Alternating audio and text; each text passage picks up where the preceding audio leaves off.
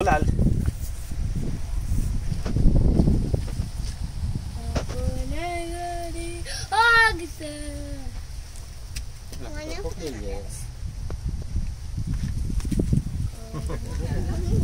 પડી ગયું છે.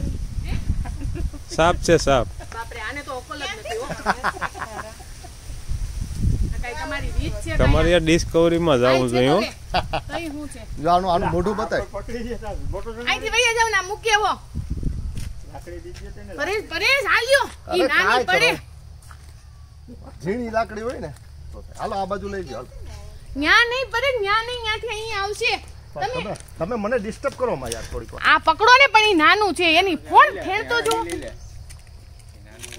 તઈ શું છે? આનો વિશ્વાસ હોય કોઈ દી. અને કોણે બતાવ્યું એ પોતે જ માથે ચડી ગયા. કેવું છે? જો પેલા જોઈ એ ખીચ તો જોવે ને કેવી છે? એનું મોઢું બતાય લાલ છે ને આ જેટલું પીળું છે ને એટલું ઝેર. અને ક્યાં નાખવું ભાઈ? કયું હાલો. શ્વાસ ચીડું એને હોતી. આવ નજીક એને બીક લાગે છે તમે મૂકી આવો ને બીકમાં બીકમાં ઈ તું અવાજ ખીરમાં? માં અવાજ ફિલ્મમાં આડો કરી નાખ મોબાઈલ. ઊંધો નહીં કરતો. હા. જીસુ તમે છેટા રહેજો બેટા. ગમે એવડું હોય. મેં આ કોબરા ઠેકડો તો બહુ મોટો. એ પછી ધ્યાન રાખજો ધ્યાન રાખજો તમે. મને ખબર હોય ભાઈ હું આ પકડતો હોય કે પહેલી વાર પકડું છું. ના તમે પહેલી વખત નો પકડતા હોય તોય.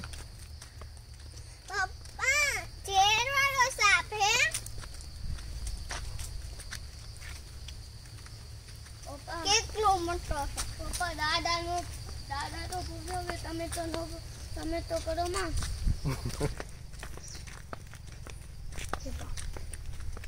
કેમ ભગવાન આવતો હશે બસ હવે અહીંથી મૂકી દો. મમ્મા? તમે આમ છેટા જાઓ.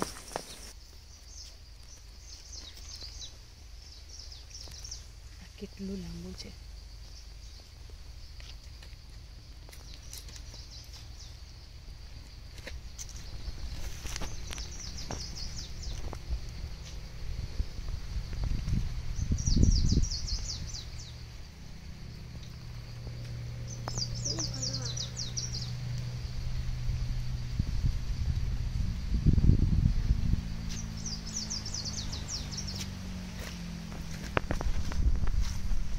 હાલો ભાઈ વિષ્ણુ. બિચારું છે ને એને બચાવ્યું ઓલા મારી નાખે તાગડી.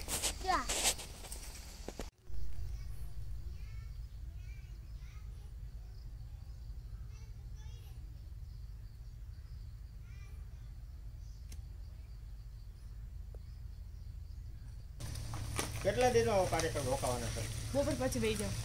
તો આવો ઘરે બે ના વહી જવું છે વિશ્વાને સોમવારે. પરીક્ષા છે. તાલાડા છે. બિચારી બરબાદ કે તો મને બેટા શું કહેશો? પેલા હું પેલા અહીંયા સવારે હું રોજ હોય ને તારા ઢાકેલું હોય ને રાતે રોજ હોય ને ત્યારે ત્યારે ખુલ્લું હોય. એમ? હા. તો રોજ જોતી આજ ખબર પડી ને એની અંદર ભમરો હોય?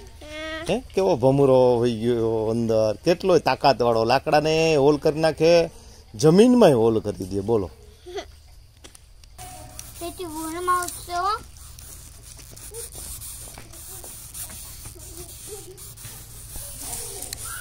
અવાજ આવે જો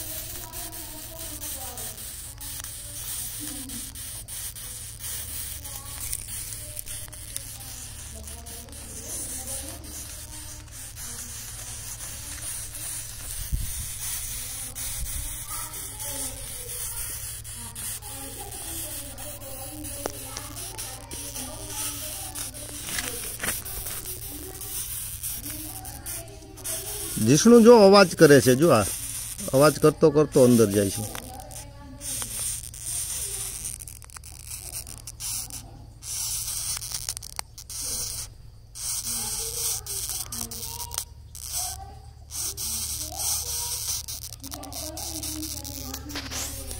મિત્રો, અત્યારે બાળકોને આવું જોવાની બહુ મજા આવે. નિસર્ગની અંદર છે ને, દરેક જીવ જંતુ પોતાના અસ્તિત્વ માટે એવી કંઈક કાર્યકરાઈ કે એવા આમ યોજનાઓ કરતું હોય. આ ભમરો અત્યારે બહાર જેવો તડકો થતો જાય છે. એમ એમ એમ ભમરો અંદર એવો ઘૂસતો જાય છે, જુઓ. કેટલો મસ્ત રીતનો અંદર જાય છે. જુઓ. અવાજ પણ કરે છે સાથે સાથે. અને કટિંગ કરતો કરતો આમ આમ એટલો બધો જો. જમીનને એક જેસીબી ખોલે ખોદે ને એવી રીતનો ખોદતો ખોદતો ઊંડો આવેલો જાય છે.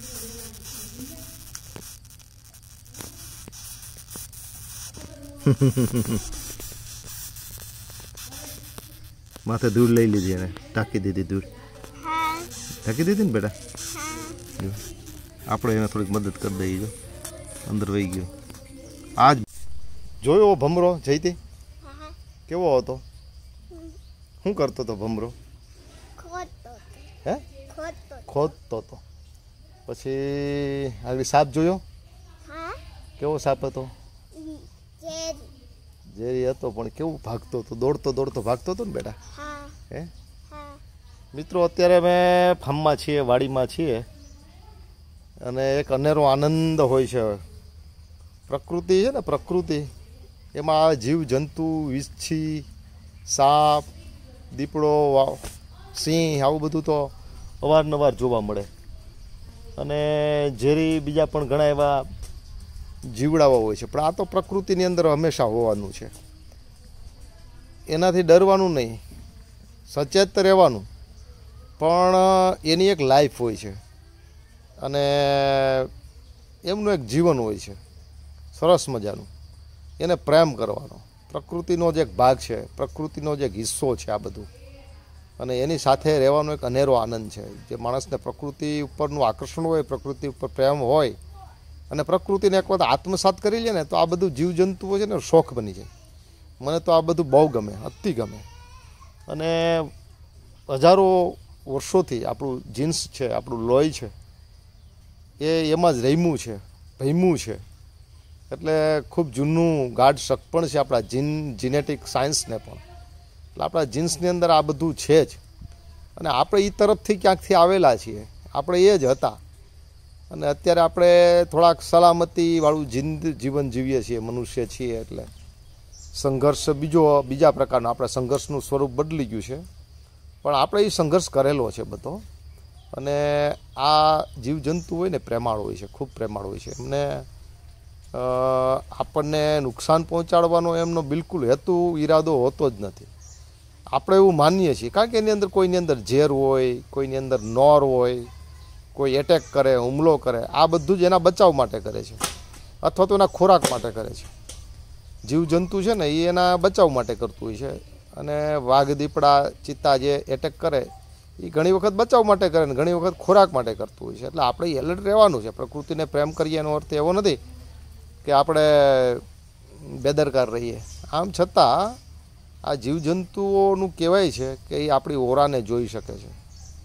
એટલે આપણે એને પ્રેમ કરતા હોઈએ ને, મને આવા બહુ અનુભવ છે. દીપડાનો એક વખત જબરજસ્ત અનુભવ છે. દીપડો મારી બાજુમાં આવી કારણ કે દીપડો તો બહુ કેવું પ્રાણી છે કે ચંચળ પણ છે એટલું બધું અને હિંસક પણ ખરું થોડુંક. દીપડાથી ગભરાવા જેવું ખરું. પણ મારો અનુભવ છે અહીંયા જતો આ પાઇટ ઉપર હું બેઠો હતો અહીંયા. ને સામે આવીને દીપડો મારી પાસે બેઠો. પાળેલું જેમ પ્રાણી કેમ બેસે, એવી રીતનો બેઠો બહુ સારી રીતે અને દીપડો બહુ વાઘ જેવો દીપડો હતો. અને લગભગ ચાર પાંચ મિનિટ બેસીને કેમ આવ્યો, કેમ બેઠો, નહોતો મારી ઉપર એટેક કરવાનો એમનો ઈરાદો, હું પણ સામે બેઠો એમની સામે. એણે મને જોયો, મેં એને જોયો. મારા ફાધર પણ હતા, મારા ફાધરને મધર પણ એ પેલા દરવાજા ઉપર બેઠા હતા, દરવાજા પાસે. અને હું અહીંયા હતો. અને જાણે કે કંઈક વાર્તાલાપ કરીને મૌન રીતે અને પાછો જતો રહ્યો. નિરાતેથી આવ્યો અને નિરાતેથી જતો રહ્યો. આવી રીતના સિંહના પણ મને ખૂબ અનુભવ છે. એટલે આ છે પ્રકૃતિમાં પ્રકૃતિને વાંચીએ, પ્રકૃતિને મહેસૂસ કરીએ, પ્રકૃતિમાં ભમીએ, રખડીએ, ત્યારે આપણને ખબર પડે કે ખરેખર પ્રકૃતિથી ભય પામવા જેવું નથી, પણ પ્રકૃતિ આપણને સમજે છે. આ બધા જનાવરો, સાપ, બીછી, હું એમ નથી કહેતો કે આમ આંધળું થઈને એની ઉપર ગમે હાથ નાખવો. પણ અહેસાસ કરે છે. અત્યારનું જે મેં સાપ પીકડું આગળ પૈડકા જેવું હતું, મોટા સાપ, નાના સાપ જેવડું. તો એને જ્યારે મેં મૂક્યો, ત્યારે એણે કેવું કર્યું કે એ શાંતિથી થોડીક વાર બેઠું, ઊભું, મહેસૂસ કર્યું, અહેસાસ કર્યો. પહેલાં તો એને એમ લાગતું હશે કે મને મારી નાખશે. એમને ભય હોય, અસ્તિત્વનો ભય બધાનો હોય, ભય, આહાર, નિંદ્રા અને મૈથુન. એમાં ભય છે ને એ પ્રાણીઓમાં માણસમાં હરખો જ છે.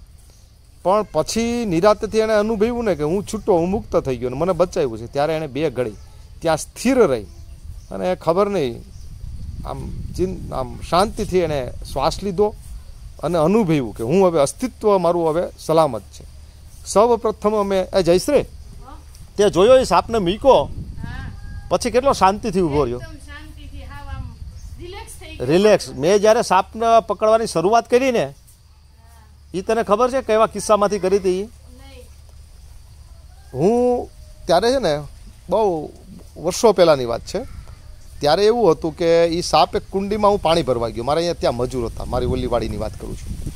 એના માટે પાણીની માયણ ભરવા, અમે માયણ ભરવા જઈએ મજૂર બધા નીંદતા હતા એકાદો એમાંથી પાણી તરસ લાગે ને કોઈની કુંડીએ ભરવા જાય. એમાં હું નથુભાઈ આહિર મારી બાજુમાં એક વાડી છે. નથુભાઈની વાડીએ પાણી કુંડામાં ભરવાઈ ગયો ને ત્યારે કુંડામાં એક સાપ પીડ્યો હતો, મોટો સાપ હતો. હવે એ સાપ શું કરતો હતો? બહાર નીકળવાનો પ્રયત્ન કરતો હતો, આમ તેમ પાણી ઉડાડતો હતો. અને બહાર નહોતું નીકળાતું. હવે મને છે ને, આમ કુદરતે એવું થયું કે આ સાપ છે ને મુશ્કેલીમાં છે. આનું બહાર કાઢું. કોઈ દિવસ સાપનો અનુભવ નહીં. એટલે મેં લાકડી લઈને બહાર કાઢવાનો પ્રયત્ન કર્યો. નાનો હતો ને, ત્યાંથી અહિંસા મારી અંદર પૂરેપૂરી. મને કોઈ મારવાનું મન જ ન થાય. મચ્છર મારવું હોય તો પણ મને મન ન થાય. નાનો હતો ત્યારે હું આ ખડ વાઢવાનું કહેતા ને બાપુજી, ત્યારે પણ એમ થતું ખડ ન વઢાય, એમાં જીવ હોય, જીવ હત્યા થાય, એવું માનતો. એટલે હોય નહીં ખરેખર એવું ખડ વાઢવાથી જીવ હત્યા થાય, પણ આવું આટલો સેન્સિટિવ હતો. હવે મને થયું સાપને હું બચાવું એટલે સાપને લાકડીથી બહાર કાઢવા માટે મેં અથાગ પ્રયત્ન કર્યો, બહાર ન નીકળો. ભાઈ, એમ શું થયું ને કે પાછળનો એક પૂંછડીનો ભાગ હતો, કરી ઊંચો કરીને અને લાકડી વચ્ચે રાખીને આમ બાયણે કાઢી મૂક્યું. નિરાતેથી બધું કર્યું. પણ બહાર ગયા પછી નીચે ઉતરીને થોડોક આગળ ગયો અને એ સાપ કોબરા સાપ હતો ફેણ ચડાવી. ફેણ ચડાવીને ત્યાં બેઠ ઊભો. ઊભો રહીને એણે મને જોયો. ખાસી વાર જોયો, શાંતિથી જોયો અને મને એકાગ્રતાથી જોયો.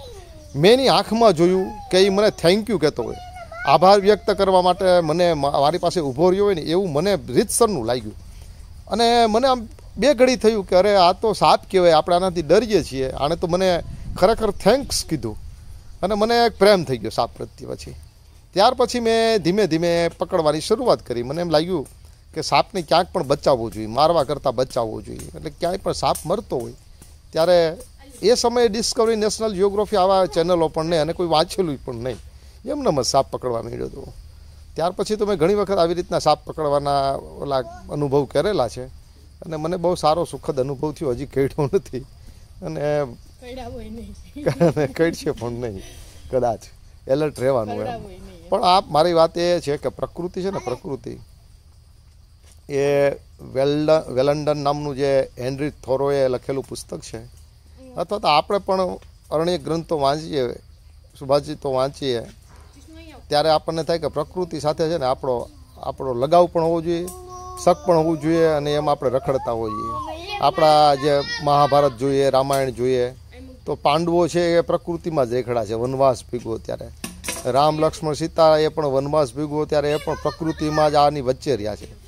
એટલે જીવવાનો એક અદ્ભુત સ્ત્રોત છે જરિયો છે જીવવાનો. પ્રકૃતિને પ્રેમ કરો, પ્રકૃતિમાં આવો, પ્રકૃતિમાં રમો, રમમાણ કરો, પ્રકૃતિને ખૂંદીએ. મજા કરીએ અને વધુમાં વધુ પ્રકૃતિ સાથેનો સંસર્ગમાં રહીએ આપણે. એવો આપણે પ્રયત્ન કરવો જોઈએ ને આપણા બાળકને પ્રયત્ન કરાવવો જોઈએ. પ્રકૃતિમાંથી ઘણું બધું જોવા જાણવા મળે છે. અસ્તુ જય હિન્દ, જય ભારત. પપ્પા, અહીંયાથી જ મારું ને.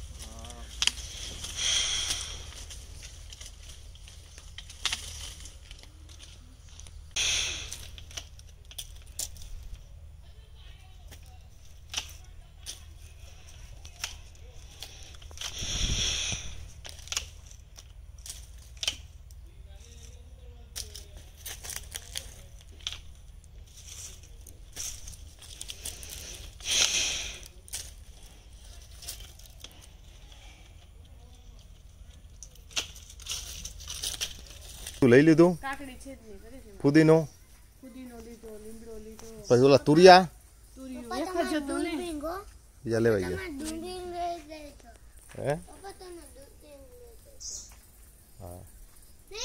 આવજો. Bye bye. Bye bye. મહેમુદાબેન Memuda આવજો. આવજો અસલમભાઈ એ હા.